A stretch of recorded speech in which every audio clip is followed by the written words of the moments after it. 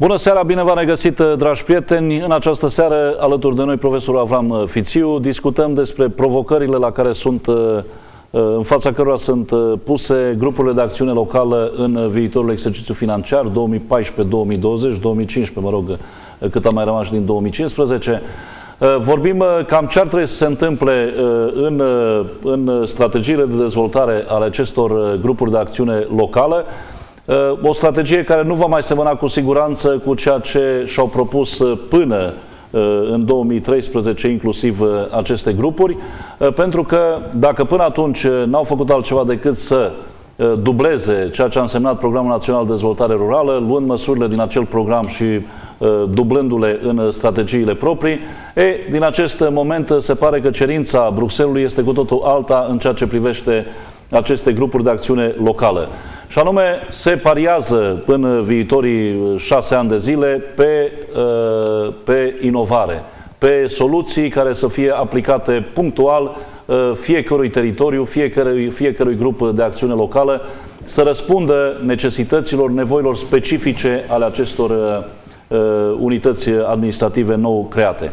Domnule profesor, bună seara, mulțumesc că sunteți din nou alături de noi. Bună seara.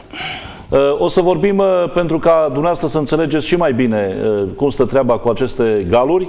O să aplicăm discuția noastră în această seară pe uh, un gal, poarta Transilvană.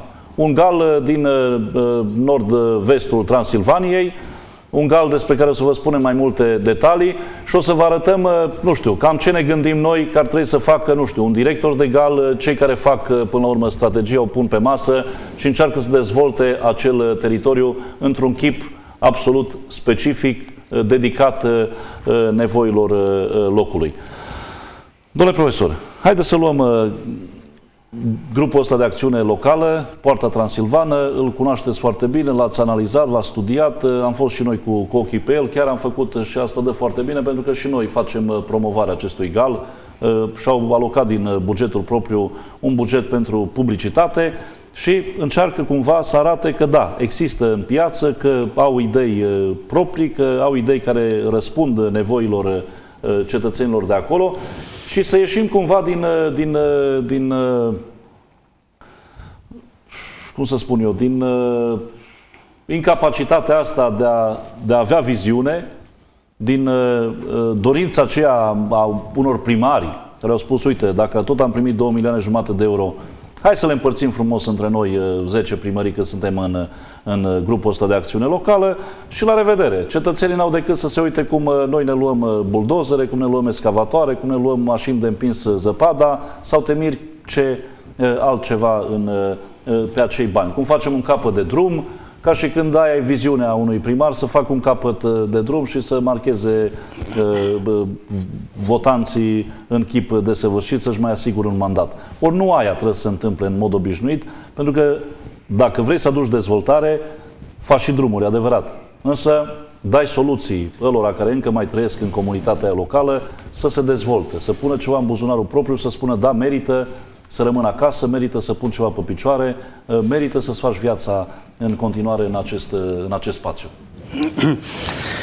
Da, o mare provocare pentru orice grup de acțiune locală din România în anii care vin va fi să treacă de la abordare în care au cheltuit bani pe măsuri tipice, li se spune, adică pe măsurile din PNDR, și să treacă la măsuri inovative, li se, spune, li se spunea măsuri atipice adică măsuri de inovare care să răspundă unei realități socioeconomice și culturale dintr-un teritoriu mm, definit la nivel de egal. Provocarea este destul de mare și mm, felicitări RNDR-ului care a început să mm, organizeze evenimente, conferințe, workshop-uri în care să invite galurile pentru a le pune în față o abordare complet diferită legată de ce ar trebui să facă mâine când vor trebui să-și creioneze noua strategie de dezvoltare locală care nu va arăta aproape deloc, nu, va, nu se va apropia de ce s-a întâmplat până acum în ultimii șapte ani de zile.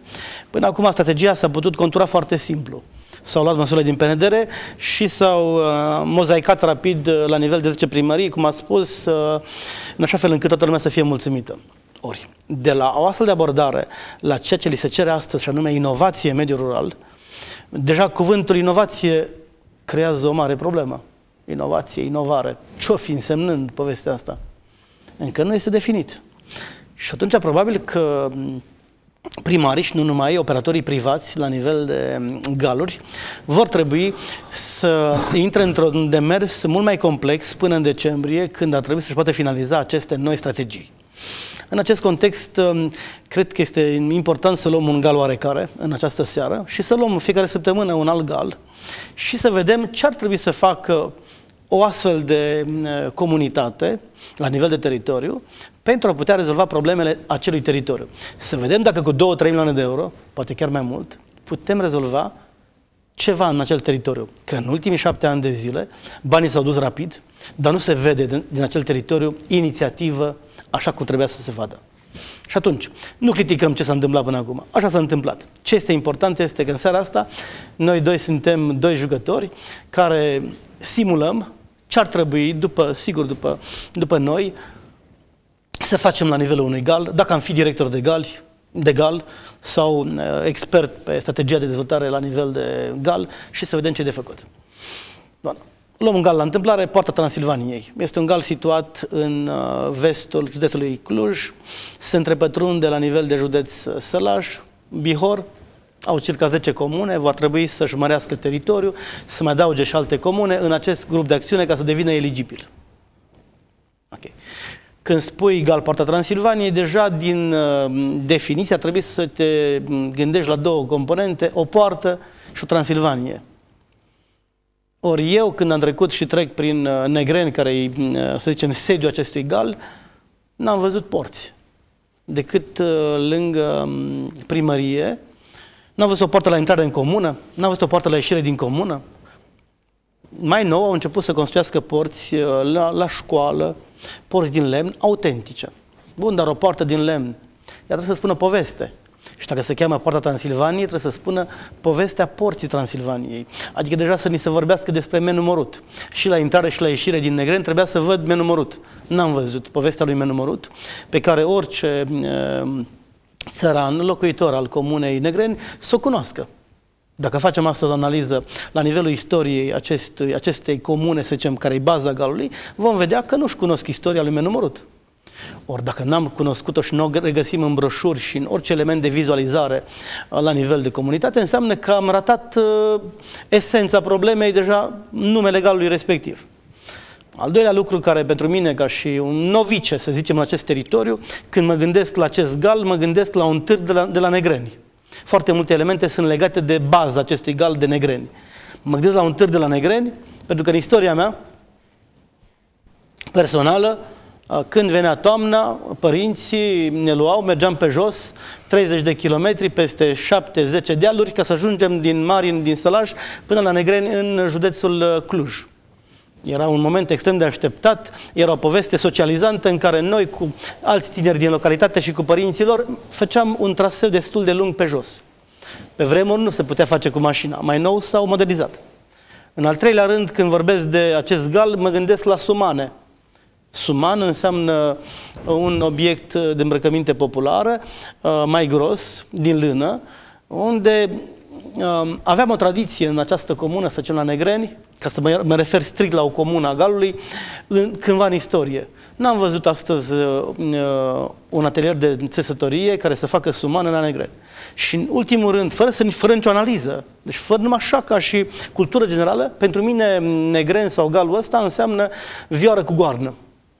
Pentru că suntem la confluența între Bihor și Cluj, unde acea vioară cu goarnă se fabrică încă în continuare, avem un meșter popular la, la Negreni.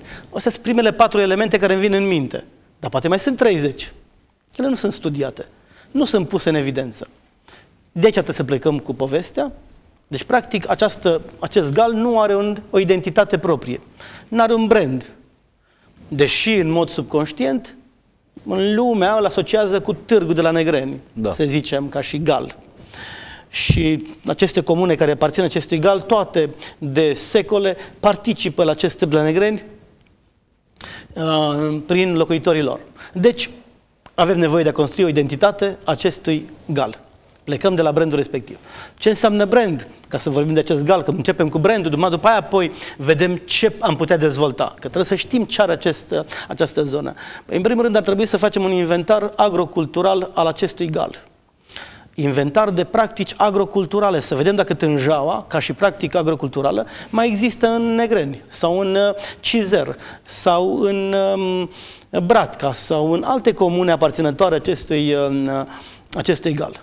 Să vedem dacă Măsurișul, de exemplu, de la Pria, ar putea să fie o țintă predilectă care aparține de Comuna Cizer, care face parte din GAL, ar putea să devină o țintă pentru o măsură de finanțare atipică numită Măsurișul de la Pria, pentru că acolo vin mii de oameni de foarte multă vreme și eu ca și copil am participat la un astfel de eveniment agrocultural. Câtă lume din Transilvania cunoaște acest eveniment agrocultural și câți țărani, câți oieri și-au concentrat un, un, o strategie de marketing ca să vândă brânză la acest eveniment care se întâmplă de regulă în primăvară. Bun, mai departe. Ne trebuie un, un inventar agroturistic al acestui gal. Să vedem care sunt resursele agroturistice al acestei, acestui teritoriu. Putem dezvolta turism într-o zonă de munte? Teoretic, da. Practic, nu știm.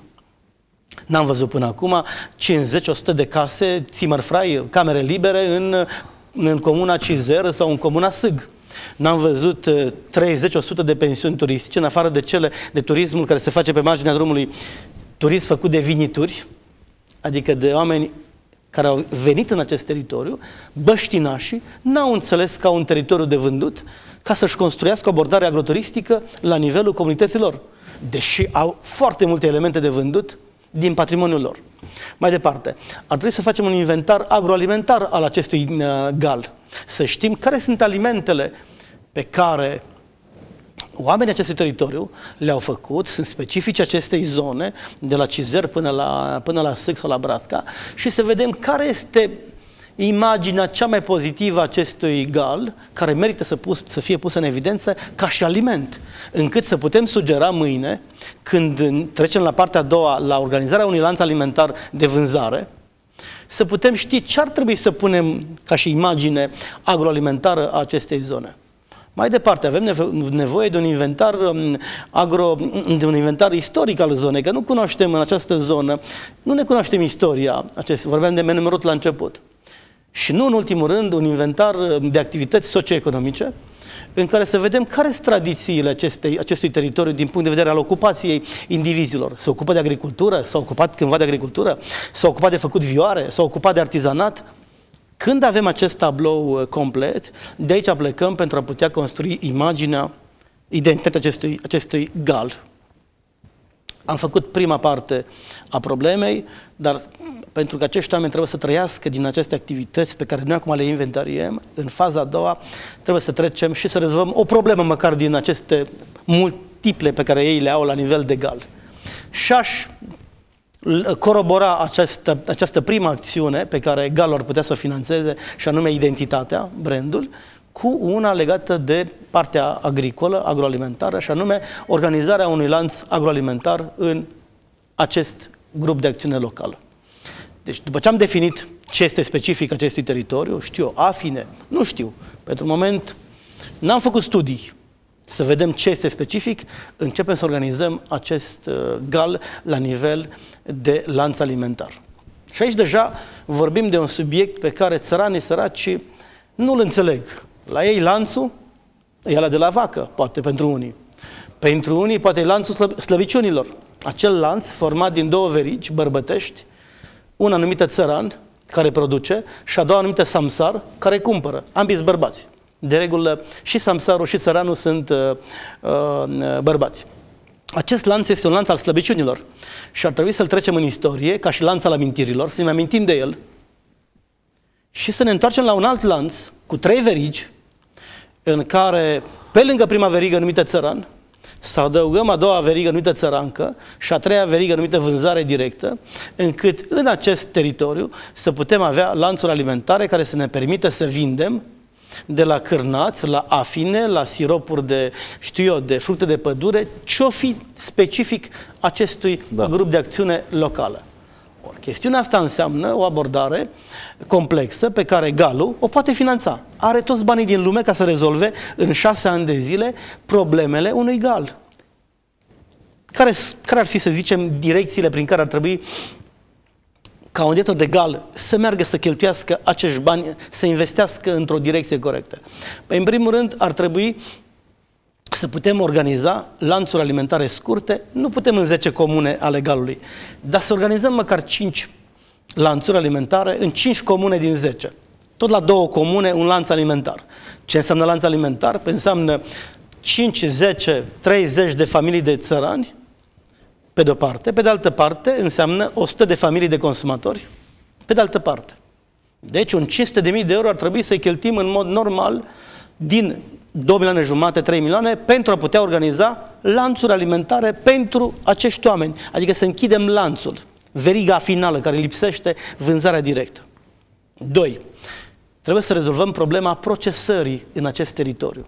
Motiv pentru care aș lua un milion de euro și aș organiza 10 cooperative de procesare la nivel colectiv ca prestări servicii în fiecare comună din acest gal.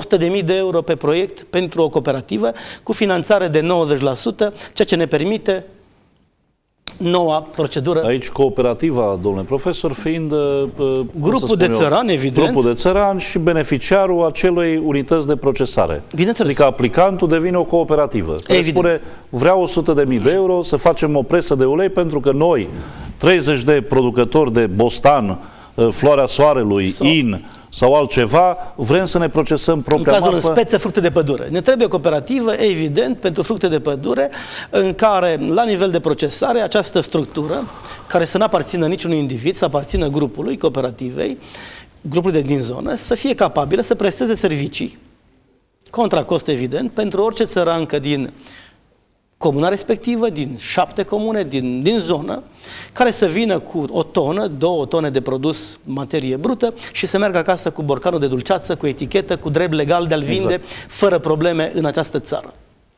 Avem 100.000 de euro, 10 comune, un milion de euro, putem rezolva problemele la nivel de câteva produse principale, cum ar fi brânza, fructele de pădure, carnea, într-o 100.000 de euro putem realiza o jucărie economică corectă la nivel de 200 de metri pătrați cu care să putem rezolva carnea, brânza și fructele de pădure, că suntem la munte.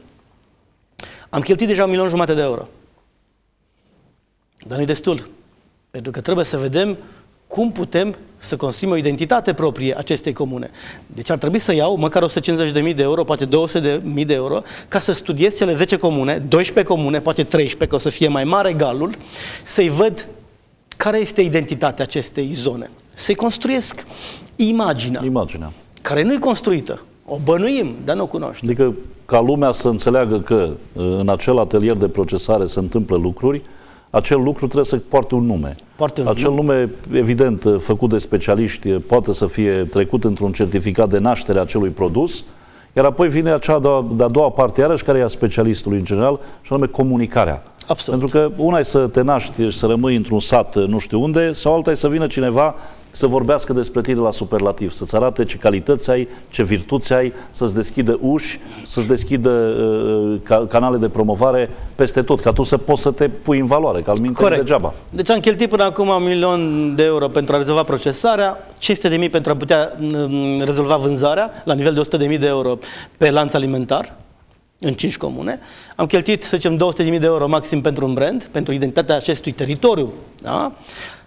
Și mai am la dispoziție un milion de euro pentru a pune în valoare tot ce înseamnă patrimoniu cultural, material și imaterial a acestei comunități. Dacă știu eu, în zona respectivă uh, avem o tradiție uh, în a face porți sau în a face viori, sau a face, uh, a, fața, a, a face fațete, da. fațaliza casele, clădirile. clădirile. Nu știu care e tradiția, că nu cunoaștem o bănuim, dar nu cunoaștem care sunt elementele de tradiție, aș investi un milion de euro în tot ce înseamnă elemente de patrimoniu cultural, material și imaterial. Și niciun buldozer, niciun drum, nicio investiție pe tineri fermieri, nimic individual. Pentru că aceste toate pe care le-a spus, Rezolvă nu aia, nu toate... aia, nu aia, sunt rezolvate prin alte măsuri. Exact. Acelea adică... se rezolvă prin alte măsuri. Aici trebuie să rezolvăm problema vânzării și a procesării. Și a identității locale. Și a identității. Trebuie să legalizăm producția, procesarea, vânzarea și identitatea. Acestea sunt elementele, verigile lipsă din acest lanț identitar acestui popor. Avem banii suficienți ca să construim această poveste. Și acum să luăm un exemplu concret ce ar trebui, cum ar trebui să organizăm un lanț alimentar cu 100.000 de euro la nivelul unei comune din Gal, Poarta Transilvaniei. Spunem acum sau luăm pauză mai întâi, da? Luăm pauză și ne întoarcem uh, imediat, uh, dragi prieteni, când vom arăta cam cum se pot construi în mod, uh, în mod real ceea ce vă spunem noi în această seară. Pe de o parte un lanț alimentar scurt, pe de altă parte acea identitate a unui gal. De-aia te cheamă Poarta Transilvană, dar tu trebuie să arăți de ce te cheamă în felul ăla, de-aia te cheamă Lider Cluj sau, nu știu, Gal X din, din Oltenia, tu tocmai trebuie să afirmi de ce te cheamă în felul ăla și faptul că ești diferit față de ceilalți. Dacă suntem toți uh, asemenea, nu înțeleg de ce ne mai separăm, ne mai împărțim și ne cheamă în mod uh, diferit. Amestecăm numai lucrurile. Pauză și imediat ne întoarcem.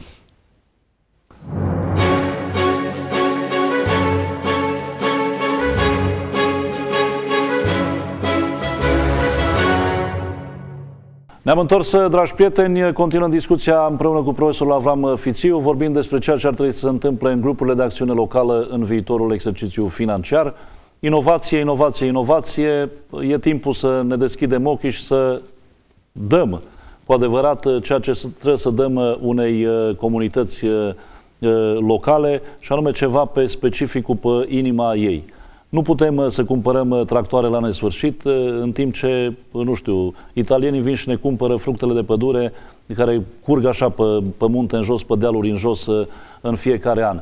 Nu putem să cumpărăm în continuare tractoare, în timp ce ar trebui să ne protejăm ceea ce ne-au dat strămoșii noștri, și anume acel patrimoniu cultural și imaterial, Ă, plouă în bisericile din ă, România, fraților, în biserici făcute în 1600, în 1700 și nu se găsește nicio soluție nicăieri. Primăria nu are bani, ă, parohul nu are bani, episcopia nu are bani, nimeni nu are bani să conserve ceea ce ne-au dat ca valoare de patrimoniu, adică e un patrimoniu a fi un, un obiect de patrimoniu cultural în, în România, înseamnă a transcende Uh, proprietatea, să spunem, a bisericii ortodoxe, dacă vorbim de o biserică, și a devenit un bun comun al comunității. Adică acea biserică de pe teritoriul uh, unei, uh, unei comune nu e doar a ortodoxilor care au construit-o oarecând, sau a greco-catolicilor, sau a reformaților și așa mai departe, ci a întregii comunități. Domnule profesor,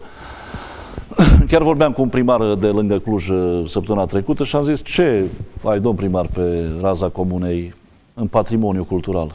Ce două biserici, uh, domnul Cristian. Două biserici și atât. Două biserici în care nu plouă, slavă Domnului, în cazul de față. Însă sunt două biserici, uh, una neîntăbulată, încă una cu un efort uh, așa minim și din partea primăriei și din partea comunității a fost pus acoperișul pe ea, însă sunt atâtea locuri de astea, cum se cheamă, localități în România, care în afară de un monument de patrimoniu n-au nimic, să spun, remarcabil. Ori acel lucru remarcabil e, în general, lăsat în uh, paragină, e lăsat uh, de izbeliște. E timpul să facem, uh, cum să spun eu, măcar să conservăm ceea ce ne-au lăsat alții, dacă nu suntem apți astăzi să generăm fenomene culturale importante. Da, este un punct extrem de sensibil. De-aia am spus că o parte din buget trebuie cheltuit pe patrimoniu material și imaterial. Hai să luăm acest gal. Uh, pe acest, în acest gal, ca și în altele, Horea a construit biserici din lemn. Povestea lui Horea a trebuit scoasă în evidență, pentru că el a fost un meșter care a construit de la mine din sat, din Marin, până în Cizer. Cea din Cizer este la în Cluj-Napoca, la Muzeul unde... Satului, unde sunteți uh, preot. Uh, povestea lui Horea este legată de acest gal. Și de acest gal, și de altele. Ori ar trebui ca această poveste a lui Horea, ca și constructor de, de biserici din lemn, să fie scoasă în evidență de către cei din Cizer, care au pierdut biserica sub o formă sau alta, dar urmele lui mai sunt în zonă cu siguranță și trebuie inventariată. Deci extrem de important. Revenim acum la o chestiune, să zicem, concretă. O să luăm în altă, într-o altă emisiune să analizăm și patrimoniul uh, imaterial și material cultural. În această seară vom lua uh, un element care este legat uh, strâns de branding, de identitate locală, și anume lanțul alimentar. Deci vorbeam de această paradigmă bărbătească în care cele două verigi bărbătești, țăranul și samsarul, trebuie înlocuite ca și verigi de um, un lanț cu trei verigi în care țăranul, ca și bărbat, uh, țăranca ca și femeie în veriga a doua de procesare și țăranca în veriga a treia pentru vânzare directă, trebuie să construiască un lanț alimentar scurt. De unde pornim? Foarte mulți greșesc și pornesc de la organizarea țăranilor ca să vândă. Nu, este greșit. În toată Europa, prima verigă pe care o rezolvi este cea a consumatorului. Te duci și vezi cine ți-ar putea consuma produse din acest gal, din comuna, să zicem, Cizer sau Sâg sau uh, comuna Negreni. În Europa, pentru a răspunde aceste provocări, se testează de vreo 30 de ani de zile mai multe instrumente. Aș da un exemplu de instrument foarte simplu de pus în mișcare și posibil de finanțat prin acest gal. Se cheamă Asociația Prietenii Comunei X o variantă, și a doua variantă se cheamă Asociația Prietenii Porcului de Negreni. Nu-i cazul la noi, dar vă dau un exemplu din Pirinei, unde cunosc foarte bine exemplu, unde o asociație de crescători de porci care cresc porc în aer liber și fac un jambon extrem de, de corect, de calitativ valoros. și de valoros, foarte scump, jambonul din zona Pirinei, pentru a putea să-și vândă acest jambon în toată Franța, au găsit uh, un instrument numit Asociația Prietenii Porcului de Bigore. Un porc negru. Că la bogați le dai carne de uh, porc negru și la săraci le vinzi carne de porc alb. Asta este o regulă a pieței. Au făcut asociația cu toți ce înseamnă oameni din Pirinei care locuiesc la Paris, la Bruxelles, în toată Europa. Prima regulă pe care, la care ei aderă ca și membrii ai asociației este că vor promova pe unde merg porcul negru din Pirinei. A doua regulă este că vor provoca orice ospătar în toate restaurantele din Europa în care intră și mănâncă, ei fiind consilieri, deputați, oameni de afaceri, prima întrebare, s-a obligat în, intrând în asociația prietenii porcului, prima întrebare pe care ei trebuie să o pună obligatoriu, trebuie să o dovedească că au pus-o oricărui ospătar într-un restaurant din Europa, este, vă rog să-mi dați o carne din porcul de bigore. Și când ajungi tu la Paris într-un restaurant corect ca să mănânci și îl pui pe ospătarul ăla într-o dilemă extraordinară, că nu au auzit în veci acel ospătar de porcul de bigore, și spui, știți, eu sunt clientul vostru ca restaurant, dacă mâine seară când mă întorc nu mănânc porc de bigore, eu mă pierdesc ca și client. Sunt obligați prin statut să pun această întrebare. Mm-hmm. Ce adică, se vor aia nu vor, trebuie să audă despre ce se întâmplă într-un teritoriu. Adică exact. Adică ești un agent de promovare. Și ești obligat că ți-ai asumat treaba asta față de, față de munții din care tu provii ca și domn și locuiești la oraș, ți-ai asumat această întrebare pe care că nu e greu să o pui. Când stai două ore la masă, nu e greu să pui și întrebarea asta. Vă rog frumos, dați-mi carne, un, o friptură de bigore și se uită la, la tine patron de restaurant, ospătar, se uită crucit, a doua zi de telefoane, ă, tu ca băiat deștept de regulă ai și o carte de vizită, știți, aici aveți telefonul, puteți să-i sunați că vă trimit imediat, pe mâine seara aveți, ă, de la 1000 de kilometri aveți carnea la magazin, nicio, la restaurant. Este unele, un exemplu extraordinar de mobilizare a unui teritoriu care să-și, ca să-și apere uh, domeniul lor.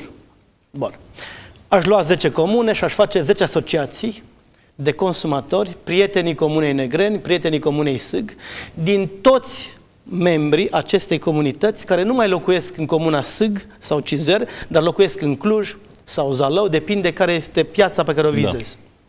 Și acolo vorbim de mii de oameni. Ori noi pentru un lanț alimentar în Comuna Negren, ca să iau un exemplu, ca să fac un lanț alimentar la Negren, că e baza galului, mi-a trebuit 100 de familii de consumatori, și dacă fac un inventar rapid, câte familii mi-au plecat din Negreni, că foarte multe au plecat, și pe unde locuiesc, în Cluj, București sau în altă parte, o să constat că repede fac suta de familii. Deci nu trebuie să mă duc să vând la persoane necunoscute, la străini. În primul rând trebuie să vând la cei care au o legătură de suflet. cu comuna mea. Și pentru asta e nevoie să... Care ei, la rândul lor, au acea relație pe orizontală cu încă 100 de vecini, de prieteni și așa mai departe. Să-i zicem numai un vecin. Făi, făi agenți pe ei, adică... Exact. Făi, spune fiecărui consătean de-al tău, semnează când intri în asociație, mă oblig ca cel puțin un vecin, un prieten, să ți-l aduc ca și consumator în lanțul tău din Comuna Negreni. Ăsta este efortul meu care îl fac eu pentru comunitate. Nu 100 de familii, una. Deja sunt 200 de familii. 100 din Negreni și 100 de prieteni ai Negrenului. Acest instrument îl putem finanța prin uh, această inovație. Este o inovație, pentru că a putea construi această legătură între țăranii din sat și copiilor care au plecat deja și locuiesc în orașe, în jurul, de regulă, Oradea, Cluj-Napoca sau Zalău sau alte orașe, a, se creează o primă legătură pe acest subiect. Deci am rezolvat prima problemă, cea a consumatorului, care este cea mai importantă. Pot eu să mă organizez cât vreau, să, să le fac cooperative și tot ce vrei la țărani. Dacă n-am reușit să rezolv problema, de consumator n-am făcut nimic. Bun. Al doilea lucru. Vom construi un abonament, o carte de principii pe care acești consumatori să o accepte atunci când vor primi săptămânal, la domiciliu, coșul țărănesc din Comuna Negreni, de la cei 10, 20, 30 de țărani care vor pune în coș brânză, cârnați, tot ce vine de la Negreni, ce, produce. ce, ce are de la Negreni și așa acești oameni, consumatori, vor avea în fiecare lună acasă aceste produse la domiciliul lor. Deci am nevoie de a construi o carte de principii în care să mă oblig, de exemplu, ca în acest abonament, nu numai că voi cumpăra alimente din Negreni, dar mă oblig, ca o dată pe an, prin abonament, să vin cu o familie de prieteni acasă la mine în Comuna Negreni, când vin de sărbători, știu eu, de, să invit o familie și asta să scrie în contract. Asta se întâmplă. Adică trebuie să fac cunoscut. Ori dacă eu aduc 100 de familii în Comuna Negreni, care străine de Negreni, ca apoi să le leg de un sistem de distribuție la domiciliul lor, ia că deja am făcut 200 de familii care sunt legate de Comuna Negreni și cu 200 de familii, n-am nevoie de 200, am nevoie de 100 de familii, ca să rezolv problema de vânzare corectă, la preț corect, pentru aceste familii de consumatori. Bun. Domnule profesor, o chestiune însă. Ați pomenit, poate 10, poate 20 de producători uh, adună într-un coș țărănesc uh, hrana pentru cele 100 de familii. Acum, unul poate să, nu știu, să vină cu cârnații și cu derivatele din carne, altul să vină cu ouăle și cu puiul, alții să vină cu brânzeturi. cu pâine, cu e, uh, e rezonabil economic, financiar pentru fiecare membru acestei cooperative care pune în coșul țărănesc un produs, la finalul lunii să spună, bă, eu vânzând la 100 de familii, mi-am rezolvat uh, problema de trai. Adică cât ar putea să câștige, să spunem, fiecare producător în parte, uh, vânzând un, a, deci, unui număr când de am... 100 de familii deci, uh, ceea ce produce în Această bătătură. cifră de 100 de familii nu este o cifră întâmplătoare, este verificată în ultimii 10 ani de zile în toată Europa este verificată ca și cifră. Este ținta oricărui lanț alimentar din toată Europa, cam 80-100 de familii de consumatori, ca să aducă minim 1000 de euro pentru acel țăran în familia lui. Evident. Despre asta e vorba. Deci o cifră rotundă, cam aici se învârte 80-100 în funcție de țară în, la nivel european. Bun, vorbim de 1000 de euro nu pentru cel care organizează coșul tot, ci pentru fiecare participant la acel coș. Acel coș nu este organizat de către o firmă intermediară. Acel coș este organizat de către ei. Corect. De-aia cheltuim 100.000 de euro prin lider, ca să le dăm instrumentele necesare ca să-și facă distribuția proprie, pentru că în acești 100.000 de euro trebuie să le putem cumpăra un mijloc de transport uh, frigorific la domiciliu ca să poată să facă distribuția la domiciliu. Da? Și atunci, această cifră este gândită sub această formă. Aș, când, înainte de a ajunge la organizarea țăranului în cooperative, aș mai rămâne la alte instrumente legate de consumator. Pentru că aici este cheia problemei. Consumatorul și nu țăranul.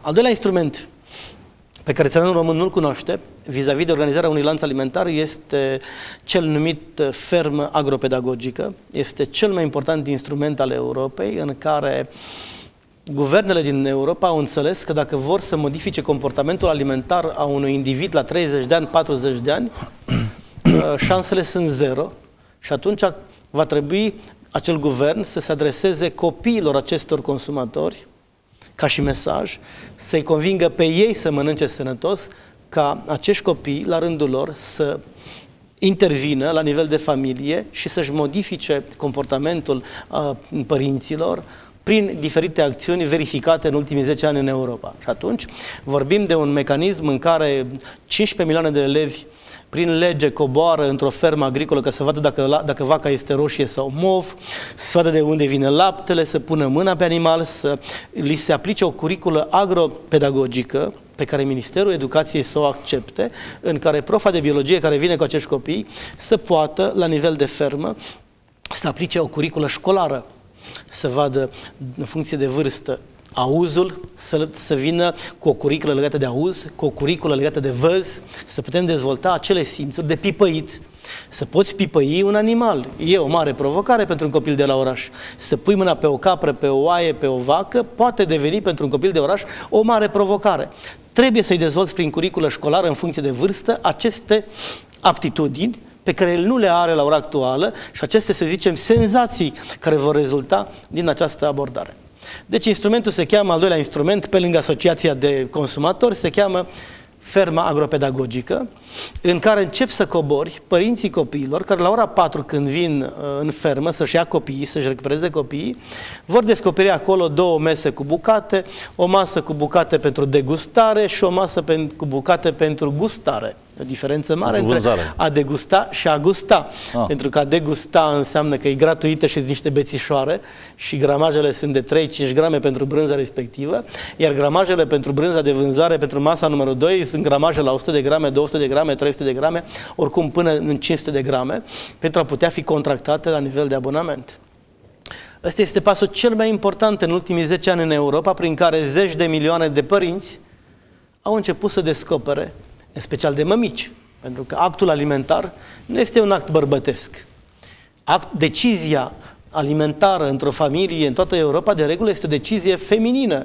Ea gestionează, doamna, mămica, bugetul, ea, noi bărbații, eventual când primim plasa și lista, mai putem face cumpărături, dar de regulă acest act este un act eminamente feminin. Și atunci mămicile vin să-și recupereze copiii, este trecută în, abona, în, în procedura din ferma pedagogică, ca mămicile, în primul rând, să vină acolo ca să poată descoperi alimente posibile pentru copiilor. Și de regulă copiii sunt între clasa 1 până între a 4 ă, mămicile sunt foarte atente la această vârstă ce mănâncă copiii.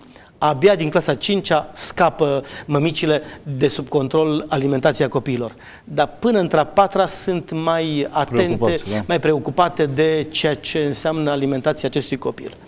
De aici se creează legăturile între orășan și țăran. De aici, în contractul de abonament, dacă vei include că fiecare familie de consumatori este obligată prin contract ca de două ori pe an, trei ori pe an, să vină cu copiii, să doarmă în familia țăranului, contra cost evident, să participe, dacă are chef, la activitățile din ferma respectivă pentru a putea dezvolta alte abilități copiilor. Pentru că poate să fie o orientare în carieră, nu știi dacă copilul la 10 ani simte o dragoste sau nu față de natură. N-ai putut să o testezi la bloc pe asfalt.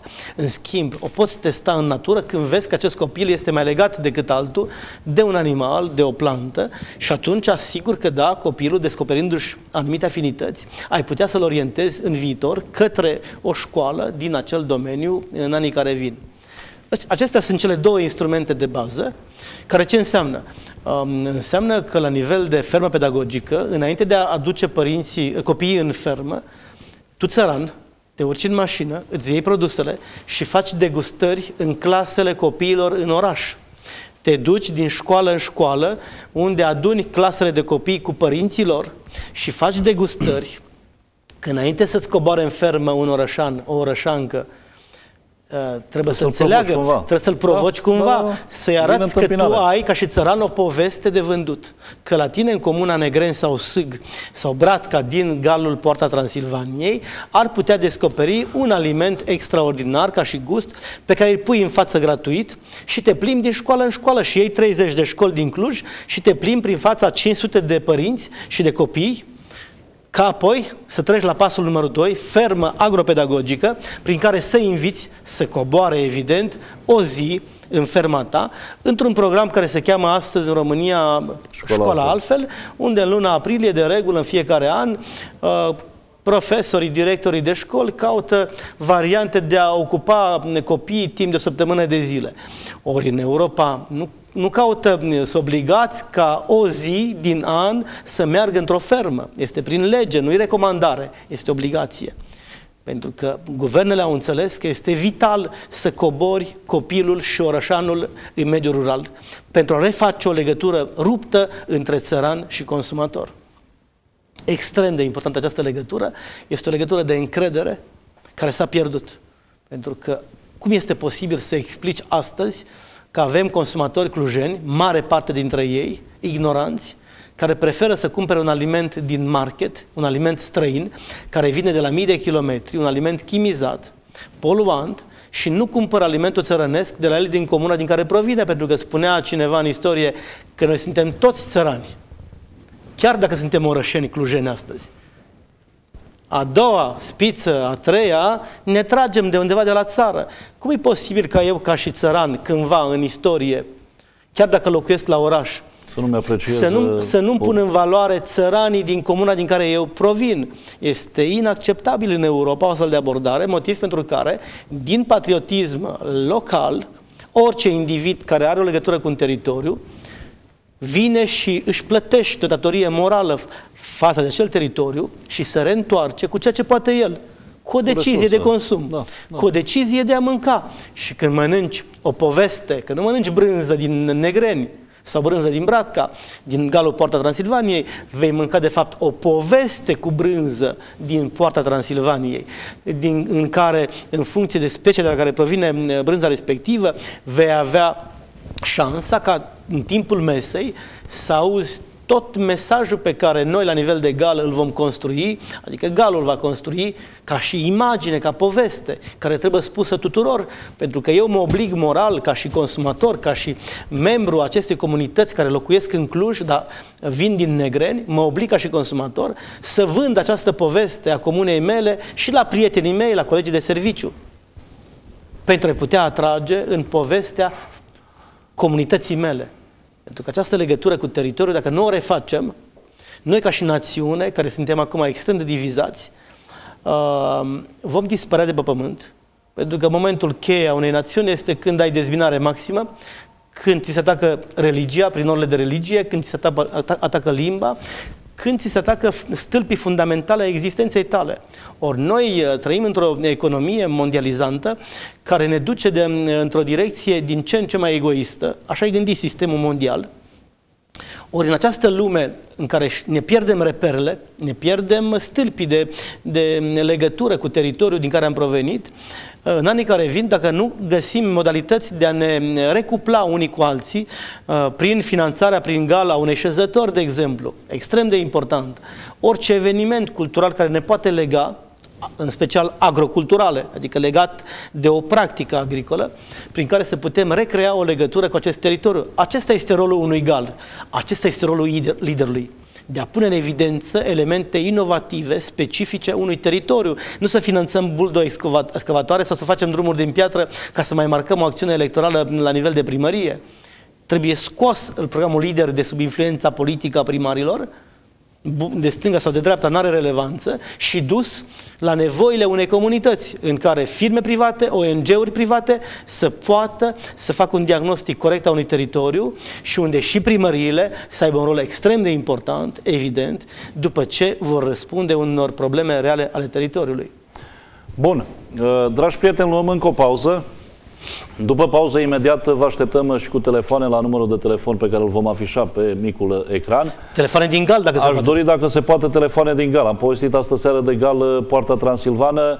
O să fie de acolo, dacă să dea Dumnezeu să fie telefoane de acolo, dacă nu și din altă parte. Ideea e să ne focusăm foarte precis pe ceea ce am, am propus în această seară, ce ar trebui să se întâmple pe teritoriul unui gal, cum ar trebui să ne, să ne identificăm uh, nevoile foarte clar și cum am putea, după șapte ani de zile de aici încolo, să ne punem în valoare. Să arătăm, așa cum spunea profesorul Avram Fițiu, agrocultural, să arătăm uh, ceea ce avem de arătat, să arătăm uh, agroalimentar de asemenea, să arătăm, nu știu, din toate punctele de vedere, agroturistic, că, agroturistic și așa mai departe, că suntem relativ unici și că asta, diferența asta ne poate face vandabil, ne poate propune sau să ne poate pune pe o hartă a acestei, a acestei țări ca un punct de atracție, de, de atractivitate pentru cei care ne cunosc pe de o parte, dar și pentru cei care încă n-au făcut cunoștință cu noi.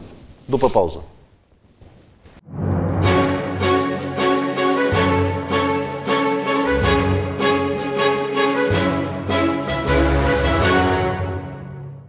Ne-am întors, dragi prieteni, încă jumătate de ceas la dispoziție, jumătate de ceas pe care vă punem și dumneavoastră în mod special la dispoziție, 0264 431 231 numărul de telefon la care vă așteptăm și pe dumneavoastră cei de acasă. Vă așteptăm uh, punctual, dacă se poate, pe tema galurilor, a ceea ce ar trebui să se întâmple uh, prin aceste finanțări pe care uh, AXA Lider le pune la dispoziția comunităților locale o comunitate locală care este invitată de data aceasta să vină să-și mărturisească specificul, să-și îl pună atât cât se poate în act, încât să se definească din toate punctele alea de vedere de care vă spuneam, alimentar, turistic, uh, cultural, uh, patrimonial, să se definească în raport cu vecinii săi, cu cei din, uh, din jur și, evident, în ultimă instanță sau în primă instanță ar trebui, cu consumatorul.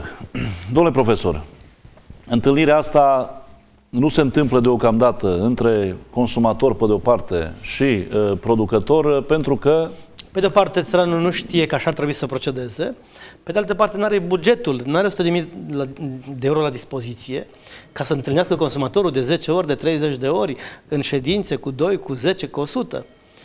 Da? Deci nu are bani de promovare în 30 de școli, să facă 50 de ședințe de degustare în toate școlile din județul Cluj, care înseamnă transport, care înseamnă alimente, înseamnă costuri pe care liderul le, le poate finanța de acum înainte, le putea și până acum, dar n-a fost uh, inteligență a fost, da. până acum, ei de acum înainte le-ar putea finanța și atunci asigur că țăranul, în primul rând, el nu știe că așa ar trebui să procedeze. El crede că dacă stă la Negreni sau la Bratca, cineva de la Cluj o să vină să-i cumpere lui alimentele de acasă. Nu se întâmplă treaba asta, decât dacă, prin lanț alimentar, organizezi acest procedeu eh, prin care se reinstalează încrederea între consumator și producător. Bun, haideți să luăm eh, primul telefon din această seară. Bună seara! Alo? Alo? Alo. Bună Alo. seara!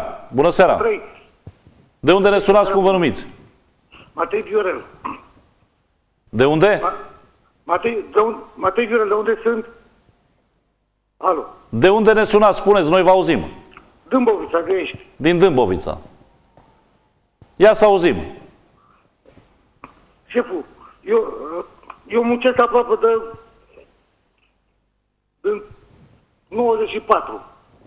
Aproape tot 30-40 de hectare. Așa. Și a fost să fac, n-a reușit să fac niciodată niciun proiect. Nimic, nimic, nimic. Sunt am răgușit. Bun, n-ați reușit să faceți proiecte din ce cauză? Păi dacă te la Târgoviște te refuză. Zice că nu te încadrezi cu aia, nu te încadrezi cu aia.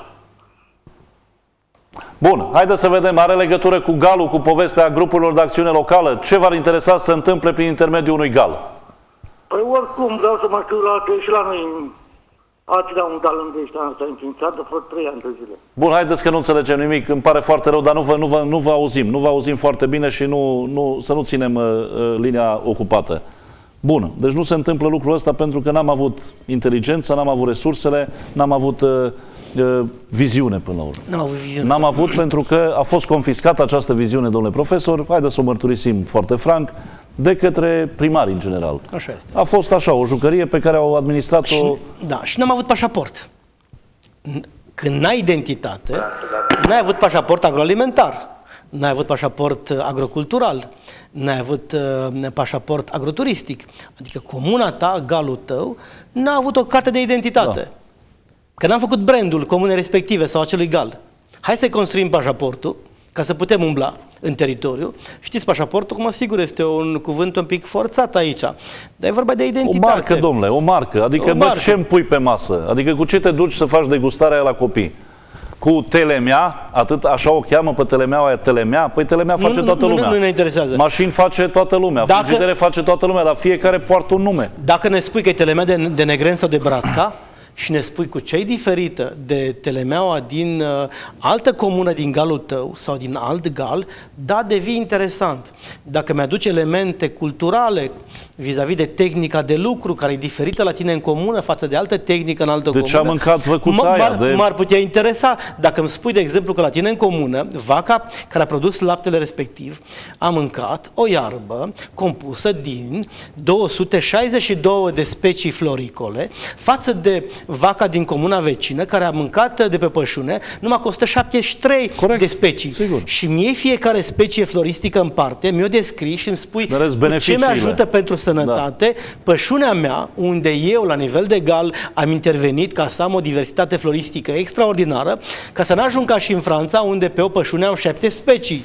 Noi, în România, avem șansa extraordinară de a avea peste 100, 200 de specii floristice pe o pășune și noi nu avem catalogul cu aceste 200 de specii atunci când vindem telemeaua de negreni. Corect. Pe cum vrei să vinzi telemea de negreni dacă tu nu vinzi povestea legată de cutare uh, specie pe care o am pe pășune. Așa este. Alo, bună seara!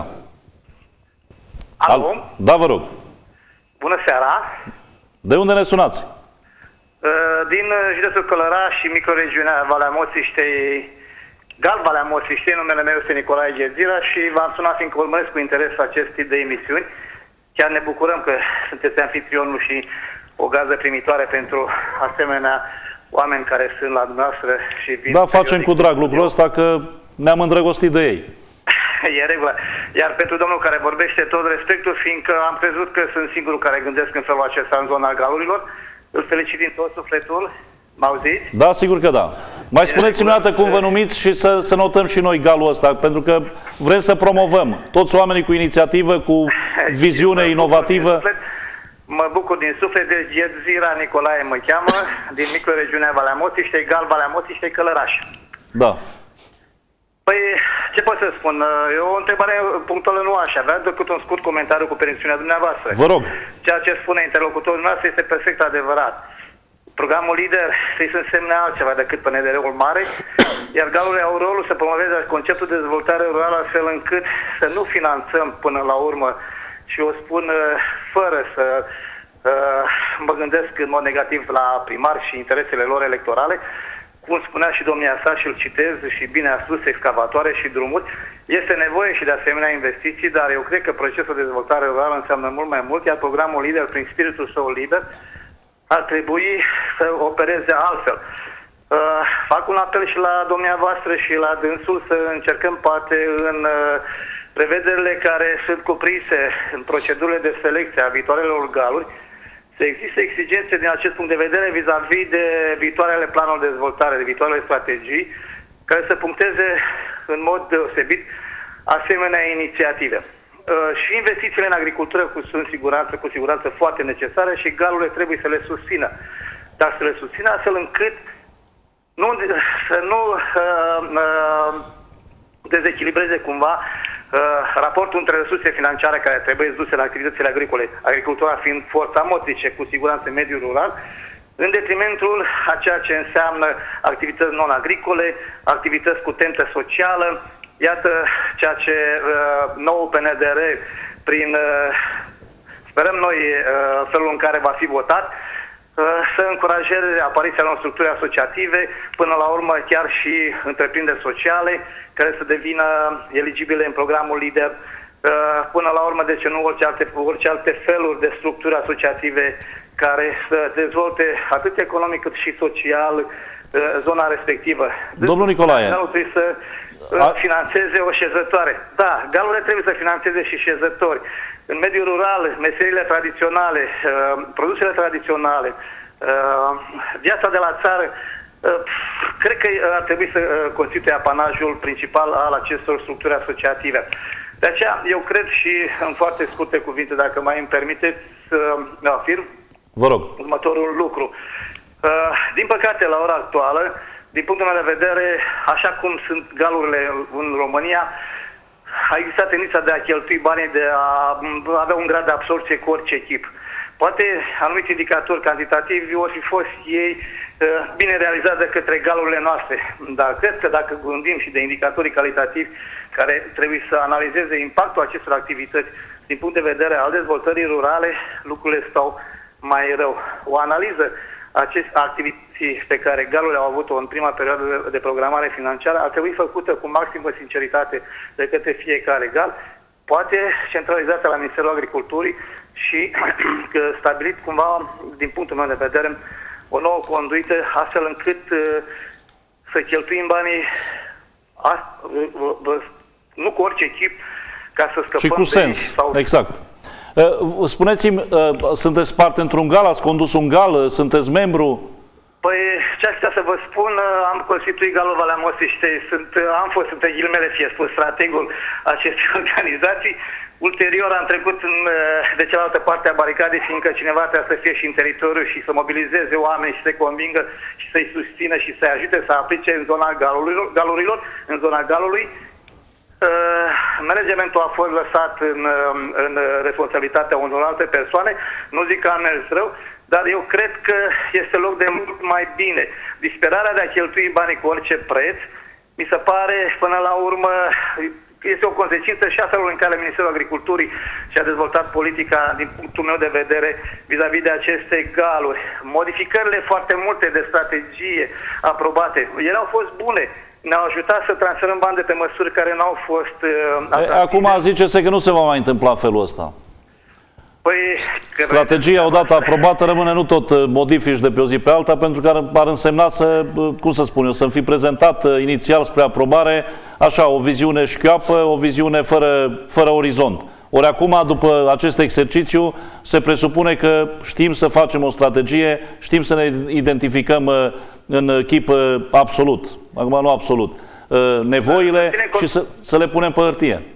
Da, foarte corect ce spuneți dumneavoastră, dar să ține cont că vin și galuri care până acum uh, nu au existat și cu siguranță că este un lucru foarte bun. Da. Suntem pe o piață concurențială care ne va obliga să devenim și noi mai buni. Uh, ideea însă de a stabili din start în ce mod poți să uh, uh, ajungi pe piața programului din România, uh, care sunt exigențele și uh, Domnul Nicolae, am o rugăminte. Lăsați numărul noastră de telefon în regie. O să vreau să vorbim uh, pe telefon uh, mâine pe tema asta și să vedem, mare plăcere, să vedem cum putem să... întâlniri la care ați participat să ne-am cunoscut, dar probabil că, mă rog, Ok. Haideți să, ne, să, să păstrăm contactul, vă rog să lăsați numărul de telefon și mâine ne greșiți să ne auzim pentru că... interlocutorului dumneavoastră admir și am ascultat cu mare atenție. Mulțumim tare mult. Spune, are mare dreptate și dacă ne dorim un program lider în uh, sensul programului lider care există în Europa uh, și mai mult de atât, uh, așa cum l-am gândit cu toții, unii dintre ei la început, când am început să ne pregătim pentru a accesa programul lider, el cam așa trebuia să arate. Ce s-a întâmplat acum și cum se mai întâmplă da. este oarecum altfel. E altfel Felicit din tot sufletul și mă bucur că uh, există asemenea. Nu l-am cunoscut, uh, știu câte ceva despre da. Galul Dânșilor, dar este un om deosebit care gândește în spiritul programului Doamne ajută. în mod real. Mulțumim tare mult pentru, mulțumim tare mult pentru intervenție. Doamne ajută. Da, iată, sunt uh, oameni care văd într-adevăr lucrurile, intuiesc cam care trebuie Foarte să fie... mulți oameni din galuri au înțeles uh, că ar fi trebuit să financeze altceva. Dar ne fiind pregătiți în momentul când au scris strategia de a construi fișe pentru măsuri atipice, nici Ministerul Agriculturii, din comoditate, n-a încurajat uh, ca aceste galuri să construiască măsuri atipice. Ne-am trezit că am cheltuit bani, în interesul, sigur, al primarului, în primul rând, al primăriilor, da? și abia apoi a jucătorilor din gal. Ei, dacă acum Ministerul a înțeles acest lucru și sper că l-a înțeles, cel puțin uh, recent la o întâlnire de la Sibiu am înțeles că Ministerul a transmis un mesaj foarte clar galurilor că vor finanța preponderent inovație, iar măsurile de infrastructură care vor fi finanțate vor fi legate de un act de inovație. Deci, ok, finanțez anumite elemente de infrastructură. Dacă se referă, de exemplu, la un element de inovație. Iau un exemplu. Vreau să fac un atelier de țesătorie pentru uh, o artă populară, da, sau uh, vreau să uh, am să finanțez un artist care face la Negren, de exemplu, vioară cu goarnă și pentru asta e nevoie să finanțez un element de infrastructură ca să pot ajunge pe drumul ăla de piatră până la acest, uh, până la acest artist. Da, leg infrastructura de elementul inovativ. Adică pun infrastructura în subordinea elementului central de inovație pe care îl finanțez. Dar nu pun în față infrastructura și abia apoi inovația. Nu. Inovația și de ea legată această infrastructură. Cred că ce spunea colegul uh, Gherghin, am înțeles, Dan Nicolae, uh, dânsul a înțeles foarte bine și alții, sunt foarte mulți în galuri directori de gal care au înțeles acest lucru. Uh, felicităm RNDR-ul care a înțeles această necesitate și care va, poate informație pentru domnul Gherghina, în perioada următoare RNDR-ul va organiza mai multe evenimente cu galuri în care timp de o zi jumătate jumătate uh, se va lucra pe una, două uh, fișe de măsuri atipice, gen lanț alimentar, sunt primele două tematici pe care vom lucra și identitate, aceste două subiecte pe care le avem în această seară și vom lua 30-40 de galuri, în primul rând din zona noastră, în Transilvanie, dar poate de ce nu și din alte zone, sigur. din toată țara. Și vom lua, de exemplu, să ne plimbăm din gal, în, mă rog, din această ședință în ședințe și timp de o zi jumate să construim împreună cu ei, să-i ajutăm să construiască o fișă de măsură atipică, gen lanț alimentar scurt de calitate sau branding de comune, identitatea unei comune. Vom lua două teme, mai sunt încă zeci de teme care merită fișate. Noi vom vorbi uh, de acum înainte o perioadă, în fiecare întâlnire cu profesorul Avram Fițiu. Vom lua un alt gal. Vom lua un alt gal, poate o să și aducem uh, un șef de gal, de gal de director de gal uh, și să lucrăm inclusiv și pe alte fișe, așa cum spuneți Fără să ne judecăm că să-i certăm pentru nu, că nu cheltuim. Evident că nu. Nu Suntem, ne interesează. Nu, nu este, mă rog, în în politica noastră editorială să judecăm, să judecăm toată ziua, Deși... să încercăm să arătăm că, ok, n-am făcut până astăzi, de azi încolo se pot face lucruri încă, încă bune și frumoase pentru țară. Alo, bună seara! Alo, da, bună seara. De unde ne sunați? Cum vă numiți? E, suntem din, din Comuna Marca, județul Sălaj. Așa. Și mă numesc Ardelean Florin. Și aș avea o întrebare pentru domnul, dacă se poate. Deci, ca din județul Sălaj, fiind în vecinătate cu dânsul, o modalitate ca să avem posibilitatea să facem și noi în gal. Localitatea Comuna Marca nu există deocamdată, după ce am înțeles. Și suntem o, câteva persoane anumite care avem capre, de exemplu, animale avem care am putea să facem o... Bun, nu, nu sunteți parte dintr-un gal, înțelegem. Deocamdată nu, pentru faptul că nu avem posibilitatea, nu avem deocamdată galul nostru la nivel de comună. Bun, galurile, galurile sunt la nivel de teritoriu mai mare, nu la nivelul unei comune. Probabil că sunt două variante de lucru pentru comuna Marca din Sălaj. Uh, ori varianta în care este capabilă de a aduce în jurul ei 10-12 comune uh, la nivelul zonei și de a dezvolta un gal specific, dacă el nu există în zonă, sau de a vă lipi de alte galuri care se formează sau care sunt formate din zona respectivă. Este grav, sigur, că la nivel de teritoriu a comunei Marca nu sunteți legați de un gal. Asta înseamnă că nu aveți soluții inovative de a vă finanța problemele din sector, adică de la agricultură până la tradiție. E mare păcat, va trebui să vă mobilizați rapid. Indiferent dacă primarii se mobilizează sau nu, nimeni nu împiedică actori locali, firme private, ONG-uri, să se mobilizeze și să poată să se lege de un teritoriu, de un gal oarecare, chiar dacă la nivel de, să zicem, de primărie, n-ai un primar prea dinamic, pentru că este inexplicabil să vezi astăzi primari care au rămas pe din afară, în afara unui gal. Acei primari înseamnă că n-au înțeles că liderul este o șansă deosebită din moment ce în ultima programare n-au fost membri a unui gal sau poate din vari motive au depus un proiect și nu li s-a aprobat și atunci au rămas pe din afară. Nu știm care sunt motivele pentru care Comuna Marca nu face parte dintr-un gal. Dar va trebui ca la nivel privat să vă organizați pentru a mobiliza primăria să intre într-un gal sau să inițieze, evident, un gal dacă are forța necesară. Domnule profesor, pentru că mai sunt vreo 5 minute numai din întâlnirea de astăzi, haideți să anticipăm puțin, nu știu, alte teme, alte fișe inovative care am putea să le punem la dispoziția uh, uh, galurilor, ca ele să înțeleagă că, iată, astfel de lucruri se întâmplă deja în alte părți ale Europei, o Europa mai așezată, mai uh, consistentă din punct de vedere al, al experienței uh, de a, de a aplica, de a dezvolta, ca să, nu știu, să facem așa un promo pentru întâlniri viitoare. Eu nu pot să mă concentrez, să zicem, pe zona noastră legată de alimente, da? Ca să ai un lanț alimentar corect, la nivel de gal, să zicem, Porta Transilvaniei, ar trebui să faci un drum al stânelor, un drum turistic, un drum al stânelor. Am văzut o experiență interesantă la Adept uh, în zona Sighișoara, în care au luat uh, o mie de bicicliști, au făcut un traseu de 70-80 de kilometri la nivel de teritoriu mare și acești bicicliști au plecat uh, din loc în loc, oprindu-se pentru o degustare într-o stână, într-o zonă frumoasă. Ori în momentul când am putea construi trasee tematice la nivel de egal, trasee turistice, evident, legate de ferme, drumul stânelor, drumul vinului, ce mai, drumul brânzei, drumul ce vrem noi ca și circuit, în care în acest drum de 30 de kilometri, 30-50 de kilometri, dacă e vorba, de exemplu, de infrastructură de cale ferată care ar putea fi uh, transferată, de exemplu, pe un circuit de biciclete de 30-50 de kilometri. Mai sunt uh, căi ferate, să zicem, abandonate, uh, pe care cfr nu le mai utilizează. Să mergi mâine și să umpli cu asfalt uh, uh, ecartamentul uh, unei căi ferate și să faci un circuit de 30 de kilometri din fermă în fermă, din stână în stână, ai putea deja deschide zona către un public avizat, care își dorește drumeție, care își dorește să cunoască povestea fiecărei stâne, povestea fiecărei uh, familii la care se oprește. Uh, Ca oamenii să nu înțeleagă că aveți o idee trăznită așa, uh, cu ecartamentul de la calea ferată. În toată Europa, Ace, acest lucru se întâmplă în, în alte adică nu inventăm noi roata musai, nu suntem original neapărat. Nu, nu, eu am venit aici cu idei care se finanțează pe lider de șapte ani de zile în toată Europa. Această poveste cu calea ferată se finanțează din Belgia până în Austria, până în Germania. Tot ce înseamnă cale ferată care este abandonată va fi repusă în circuit, pentru că gândiți-vă, mă costă de 10 ori mai ieftin să umplu cu asfalt o structură care are o bază foarte solidă decât să construiesc de la zero bază, o fundație tramă, da. pentru a putea face o pistă de biciclete.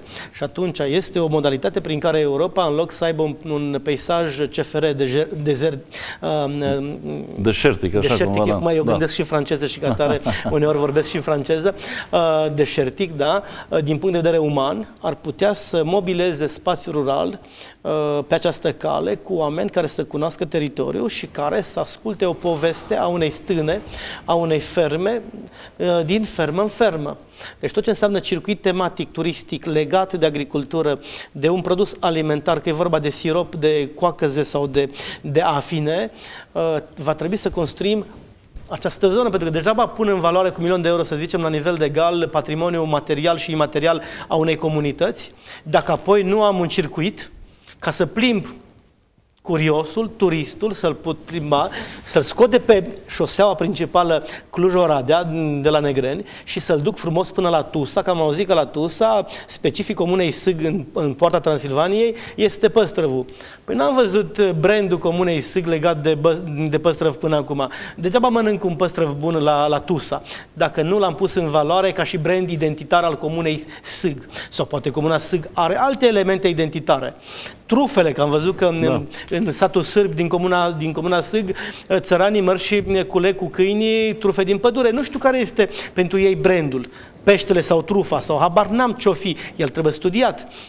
Despre circuite tematice care să pună în valoare cele 10 comune, ori un traseu tematic din fermă în fermă în 10 comune, pe o temă, că este biserica, că este tema biserica din lemn, că este un monument uh, istoric, că este o fermă, am șansa la nivel de egal să dezvolt circuite de 30, 50 de kilometri, 70 de kilometri, adică circuite de o zi, de două, extrem de interesante, de un weekend, de exemplu.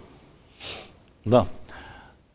Oameni buni, noi o să fim aici și mâine și poi mâine și în fiecare seară de luni până luni, ă, sigur în reluare de vineri seara încolo, însă vom fi aici și vom încerca din răsputeri să vă facem să credeți și dumneavoastră că în România se poate trăi mai bine, mult mai bine decât o facem în momentul de față, că România are o grămadă de soluții la dispoziție pentru a ne face viața mai, mai faină, mai simplă, mai, mai seducătoare, doar că trebuie să ne punem puțin mintea la contribuție, doar că trebuie, după ce ne-am pus mintea la contribuție și ne-a venit o idee Uh, cât se poate de potrivită și care să exploateze resursele alea locale pe care le ai, uh, mai trebuie să te apuci și de treabă.